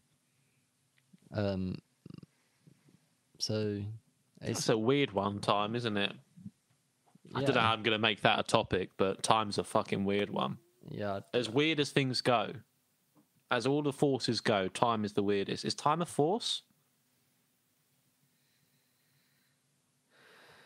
As I say, I, I don't have the I don't have the expertise.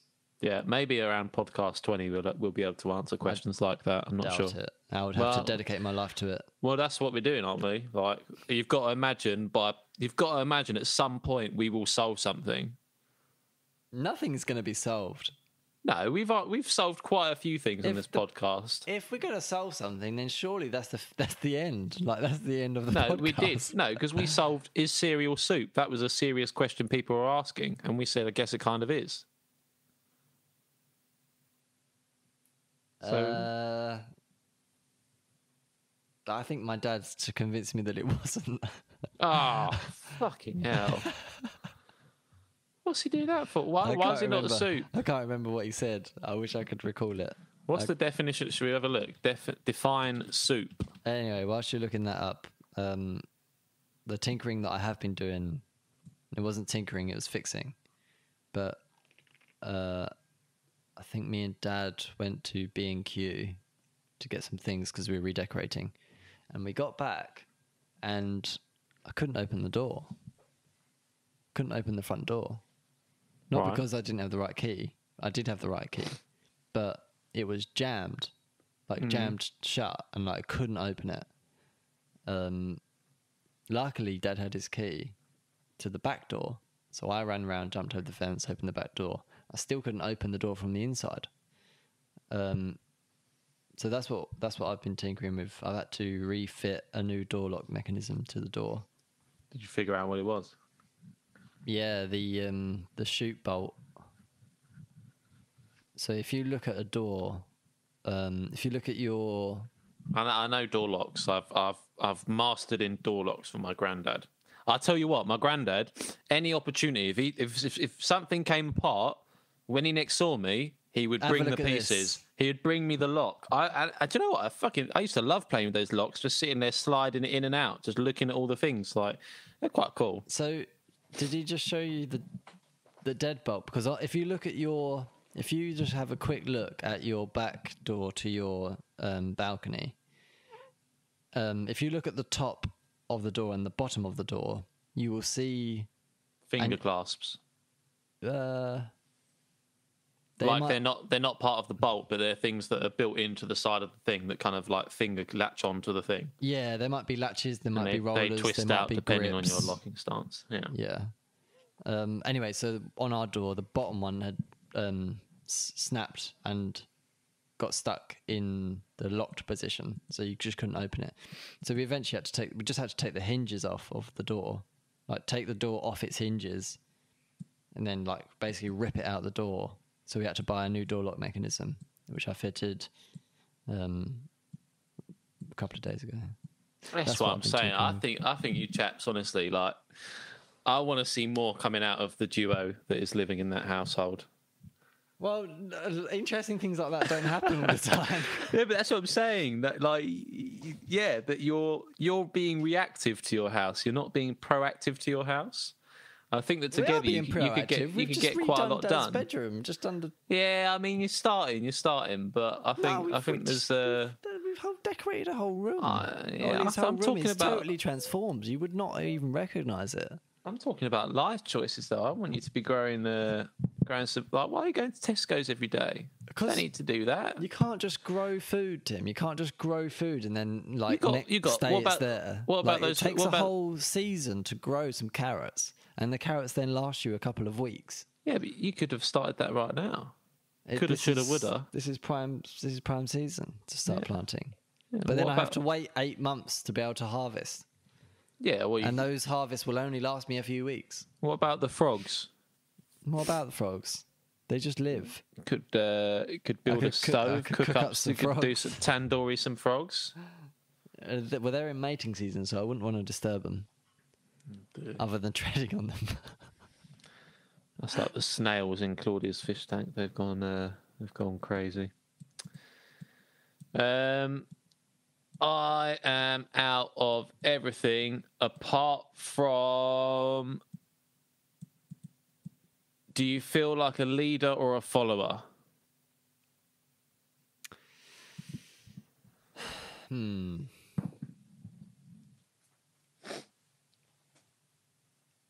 A leader or a follower? Um.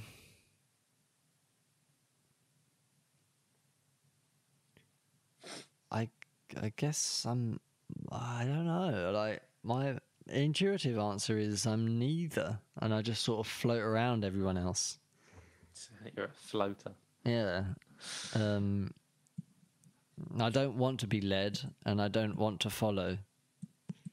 I don't want to lead. I just want to exist, give my opinion, and debate that opinion. Um, So I think I'm not very good at following.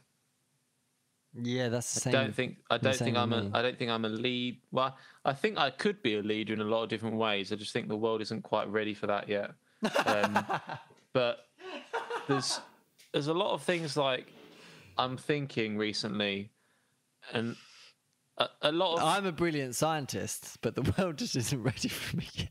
Yeah, they're not. But so I think there's a lot of times in life where I have looked up to leadership figures and allowed them to lead me and believed it was it was beneficial and that when I was following sometimes they would be critical of my following or say this isn't the way to do it. You should be doing this. Um, and I think that That's more mentorship than leader, though.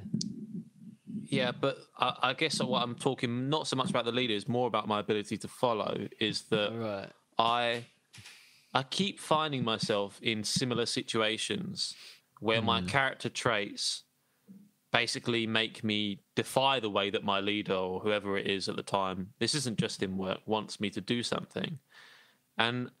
Uh, for a long time, I used to sit there and think, "What the fuck is wrong with me? What the fuck is wrong with me? Why, Why do I I always just do do things Yeah. my own way?" And it's like I just do the same thing, and it's this is the reason why I'm doing it. Yeah. And I've come to the establishment like today that I think I glorify leaders too much, and that maybe, maybe the way that I want to do things would work better.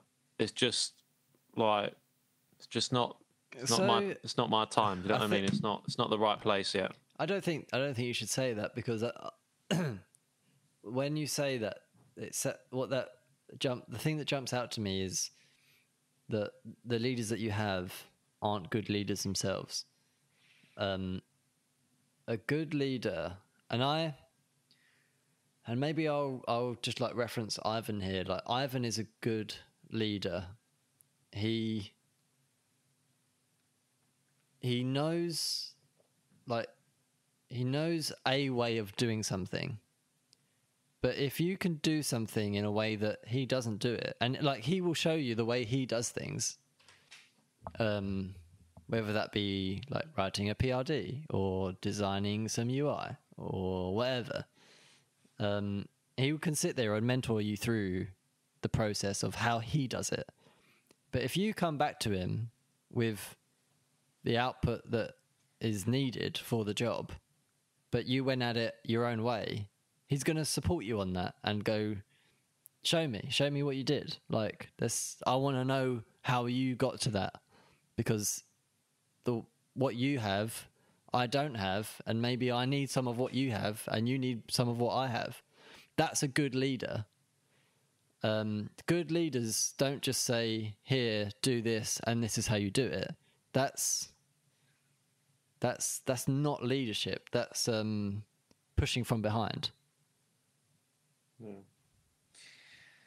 And with that, I do want to move into a private discussion um, about that topic. So thank you all for listening. Um, two views on the last one. So if you've doubled that this week, then we've absolutely smashed it. Uh, we will discuss internally um, that we need to do more promotion for the podcast. Um, so yeah, get ready for 100 views next week.